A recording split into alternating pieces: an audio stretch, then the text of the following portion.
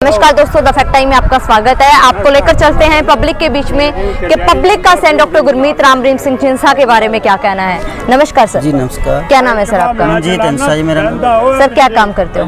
मैं काम तो खेती बट्टी का करता हूँ। सर डेरा सच्चा सौदा को कितने समय से जानते हो? मैं डेरा में नब्बे इक्यानवे से जुड़ा हूँ नब्बे इक्यानवे लेकर। सर आपका परिवार भी जाता है? हाँ सभी परिवार वाले भी आते हैं। सर कैसा माहौल लगता है आपको आश्रम का? बहुत बढ़िया माहौल है। बहुत अच्छा माहौल है। सर पीछे तीन सालों में बहुत अलग दिखाया गया था कि आज भी आपका विश्वास है गुरु जी के ऊपर। बिल्कुल पूरा पक्का विश्वास है जी। हमने ऐसा कुछ देखा ही नहीं जो ये दिखा रहे हैं मीडिया जो लोग बोल रहे हैं। ऐसा कुछ है नहीं। गुरु जी का स्वभाव कैसा है सर फिर? बहुत बढ़िया स्वभाव है जी।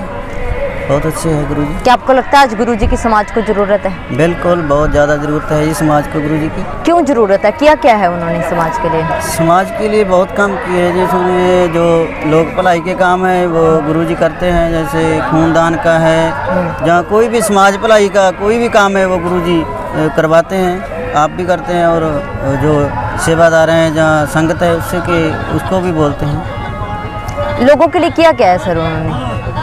लोगों के लिए बहुत काम हमने बोल तो दिया अभी जो लोगों के लिए भलाई के लिए और जो ज़रूरत पड़ती है समय समय पर वो समाज के लिए लोगों के लिए करते हैं। तीन चार सालों से अब नहीं है समाज में तो अब क्या प्रभाव पड़ रहा है समाज के ऊपर?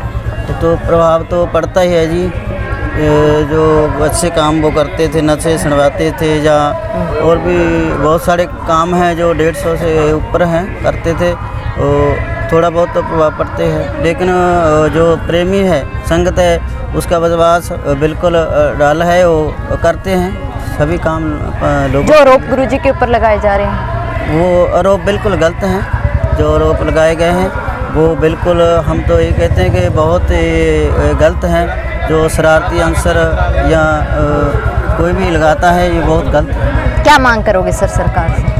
मांग तो ये करते हैं सरकार से कि जो सिंचाई है उसको आगे लेके आएँ। झूठ को ना झूठ तो समाज में पहले ही बहुत ज़्यादा फैल चुका है और झूठ को छोड़कर जो सच्चाई है उसको देखते हुए काम करना चाहिए और जो बनती कार्रवाई है वो करके गुरु जी को छोड़ देना चाहिए। बहुत बहुत धन्यवाद सर आपका हमारे साथ जुड़ने के लिए। दोस्तों लगातार आपको दिखा रहे हैं लोगों की सीधी बातचीत। आप लोग सोचिए आखिर सच क्या है? और अपनी खुले दिमाग से सोच के कमेंट बॉक्स में राय ज़रूर डालेगा देखते रहिए द फैक्ट आई और सच का साथ देने के लिए चैनल को ज़रूर सब्सक्राइब करें। बहुत बहुत धन्यवाद।